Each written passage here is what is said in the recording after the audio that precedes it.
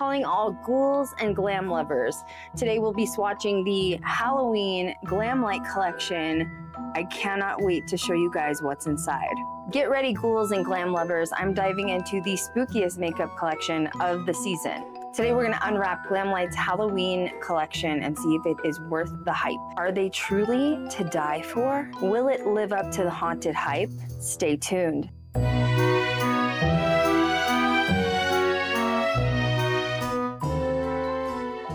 Hey guys, what's up? Welcome back to the channel. It is yours truly, Krystal Leandra, and we are here with another review. This is the Glamlite Halloween collection I did purchase this with my own money. Everybody has a favorite serial killer. Mine just happens to be Michael Myers. So the minute I saw this, I had to grab it. Now, Glamlite has done other collections. They've done collaborations for Ghostface and also Jason. They also did a collection with Chucky. I didn't purchase the entire collection out of all of those because it's just not my absolute favorite. But Michael Myers, that is a whole other story. So I'm going to unbox this and show you guys exactly what's inside and what I paid for it. Now I ended up purchasing the full PR collection, including the bag. Now, if you purchase this on the website, just the collection without the bag is $110. And they do have a four item bundle that is $94. Once again, the bag is separate. The eyeshadow palette goes for $34. The knife mirror goes for 22, which I did not purchase that yet. The makeup bag is currently sold out, but it goes for $40. The highlighter is $18 and the lip kit is $22. I also got the Haunted Mirror mask and this one went for $26. It's also currently sold out. Now, lucky for me, I was actually notified of a TikTok shop live that Glamlite did. And I had heard they were going to be doing some specials. i am actually not familiar with live sessions on TikTok. I know it's like kind of a big deal when it comes to going live and it really boosts your account, but I've never watched the sales happen on the TikTok shop. And I had been tipped off by someone saying that they were going to have a really good special the day before this collection actually launched. So I got a notification for the live session on TikTok, and I'm only telling you this in case in the future you want to sort of sneak in like I did, I ended up purchasing the entire PR collection, including the bag, and it was a $100 for everything. The only thing I didn't get was the knife mirror because that was not included and I will purchase that at a later date. Glamlite has come a very long way. I did purchase their original palettes. I still have the burger palette and the cake palette. That's what they went viral for back in the day. But this, I think, is the best collection so far that they've come out with. The packaging alone is just beautiful. I mean, even this is like a 3D image of Michael Myers. Now, the reason I am a huge supporter of Glamlite is because it is female owned and operated. Um, she's a person of color, which I also love supporting that.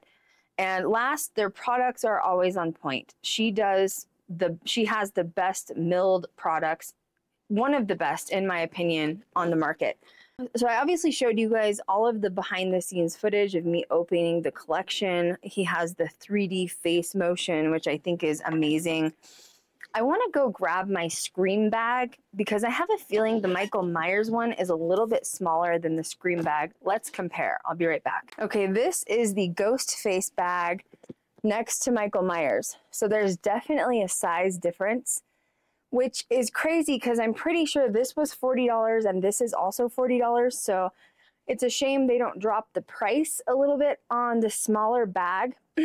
I do like the smaller size I remember when I got this in the mail, I was like, oh my God.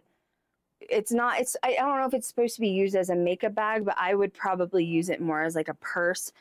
Now there's a zipper, that these are both made the exact same way. They probably go through the same manufacturer. The front zipper has literally nothing. Like it's very flat. I don't think you could fit anything in here to be honest. So it's unusable in my opinion. You could maybe put some flat brushes in there. Now the back part, obviously the ghost face one's quite large, but these are made the same. No pockets or anything like that. I think it's a perfect travel case for makeup while traveling. I also do think the graphics that they're using are much better than they ever have been before. Just comparing the three masks, these two look very sort of flat in comparison to this one. I think it's the graphics are much better on this. Okay, let's, I have my base done. I'll link everything below. I'll also link it to my LTK page. If you're not following me there, you should but I did go ahead and store everything in this bag. Now I do have a very dull highlight on, so I'm just gonna blend this out with my finger so that we can have sort of a fresh base to start with the highlight. Once again, the packaging is just beautifully done. What sold me on this is the pumpkin imprint that's in the packaging. And if you just do a light swatch, I mean, it is very shimmery. Now, I personally love a heavy glittery highlight. I haven't used this yet, so I'm going to go ahead and take a small brush and we're just going to dip into this. Once again, Glamlite is known for having the best products, so I'm not even worried about how this is going to look. Now this is a very gold, warm toned highlight, and I know my alt goth girlies are probably not going to like that, but I don't know. Sometimes it's fun to mix it up to me, it's very much a really good highlight for fall. I'm going to wipe this other highlight off my nose so that we can see what it looks like on the bridge. Okay, I'm going to dip in. Ooh, it's, it's bright. It is blinding. It definitely has like a peachy undertone to the highlight. I wonder if I use my camera you can see this a little, it's very glittery. Can you see it? What's my opinion on this highlight? It is the, you know, very consistent with the way Glamlite does their highlights. It's very glittery, it's very buttery, and I am definitely not disappointed. Now, this is not for the minimalist for sure. This is definitely for someone who likes a blinding highlight. Dipping into my favorite part of the collection, which is the eyeshadow palette. I knew no matter what I had to purchase this baby because the colors are just perfection for fall. I love the orange tones, the you know the grayish, it's like muted neutrals. Oh, I just love it. So I'm going to swatch a couple of the shimmers so we can see how they look. He's back. It looks like a multi-chrome. Looks like, yep, it's a shift. It goes from purple to blue. This is, he's back. We're going to swatch her here.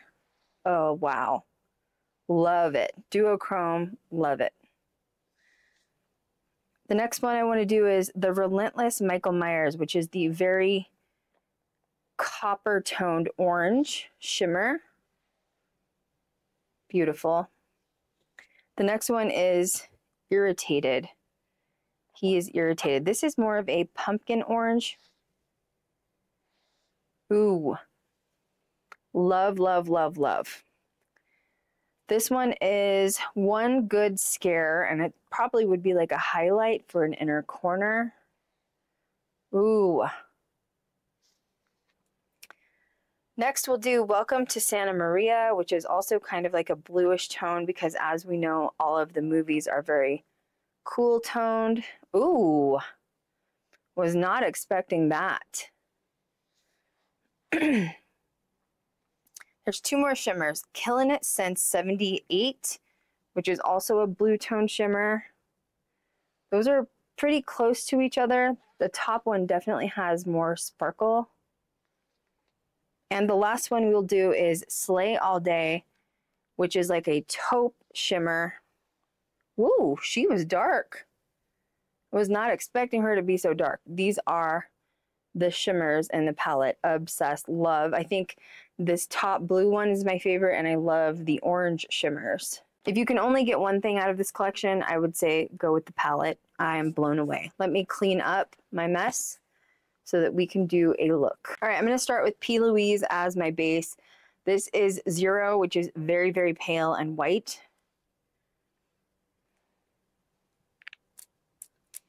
So I will normally just put it on the back of my hand, dip in a clean side of my beauty blender and pat it right in. The thing I do when I see a palette is I sort of study it to decide which way I want to go with it. There's sort of two options we can do. We can do a blue toned look or we can do a brown with orange tone look. So I need to pick and choose one. Since I'm wearing orange, I think it would only make sense to start with some orange. Okay, the first one we're gonna start with is I always wear a mask, which is a taupe-ish matte shade. Using a fluffy brush, I'm going to start at the top of my eye and start mapping out that shape. Ooh, buttery, very buttery. If you've been watching me long enough, you know that I work from top to bottom on my eyelid. Okay, next I'm gonna go in with a little bit of Trick or Treat. It's more of a orange toned shadow, but I just want to see the performance of it. And I'm gonna add that directly below that taupe shade. Haddonfield Memorial Hospital, I think, which is a very dark chocolate brown. And I'm gonna build this up on the outer crease. This is just creating that wing shape. Really want to use orange on the lid. So I'm going to dip into Halloween Masks, which is the matte orange that is in there. And we're just going to pack that on this side of the eye. I'm going to go back in and just blend a little bit of that brown back in with the orange slightly. Now on the bottom, I definitely want to use the black. They have a matte black. So I'm taking a really tiny pencil brush and Every Day is Halloween is the black.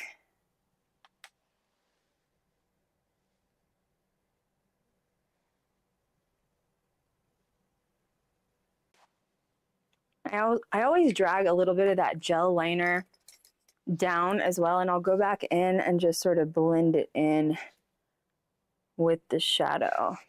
Okay, now it's time for the fun parts, which is the shimmers. I'm going to start with one good scare, which is that white.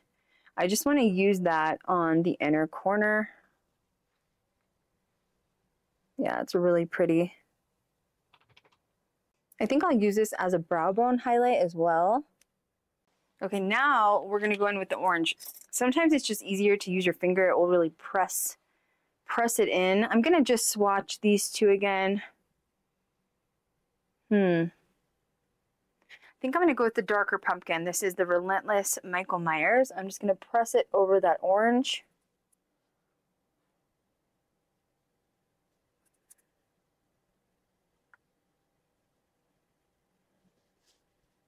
It's giving Halloween vibes. I think I want to just see what happens if I take the lighter shade. Just put a little bit in the middle. Gives it like a little halo glow. Now I know I should stick with like the orange theme, but I'm really dying to try that multi-chrome over the black because I feel like that's going to be amazing. So I'm going to take a really skinny brush again. I'm going to roll it into He's Back, which is like the purple blue multi-chrome and we're going to see how it performs. Are you ready? Woo, yes. That is giving the creep vibe, which is exactly what I wanted. How cool that looks. Ooh, she's soft though. Don't push too hard because she is a very soft multi-chrome. Oh, that shade alone is gorgeous. All right, let's finish her with a little bit of eyeliner from Essence. Lashes currently favorites are from Amazon. I'll link them on LTK and my Amazon store. The last thing that we need to try is the lip kits. We have the lip liner, we have the lipstick, and then we have this blue hueish lip gloss, which I find really interesting. Let's go ahead and pop on the lip liner first. Ooh, I think I need to sharpen her. She's a little a little low. It's darker than I anticipated it to be.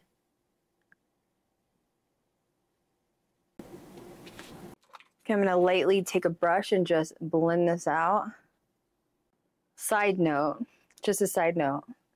I laugh because I have a lot of guys that followed me over, like, you know, from my paranormal channel um, that watch my like beauty stuff and it makes me laugh. They're like, yeah, if it wasn't you, I wouldn't watch it. Because it's you, I've learned a lot. Cool. I'm glad you're here. Okay, the lipstick is really cool. Okay, so first of all, let's just check out the packaging here. It looks like total out of the movies Michael Myers. But look at the imprints they put on the lipstick. Is that not the cutest thing ever?